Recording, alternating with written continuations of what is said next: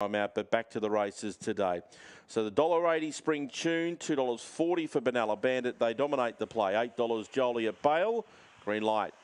Race number five at Bendigo is underway and Spring Tune began fairly well. There was good speed out from Joliet Bale and it's going to get over and lead here and Benalla Bandit got a beautiful run across to second. Spring Tune's up to third. Behind them was Rev Up pretty clear of Where's Walter. Then came Cookie Delight. Well back was Naomi Butterfly and Battle Axel. Benalla Bandit race to the lead and goes for home. Benalla Bandit has raced away from Joliet Bale and Spring Tune. Benalla Bandit easily by about five. Spring Tune may have just got second over Joliet Bale on the line. Fourth in was Cookie Delight.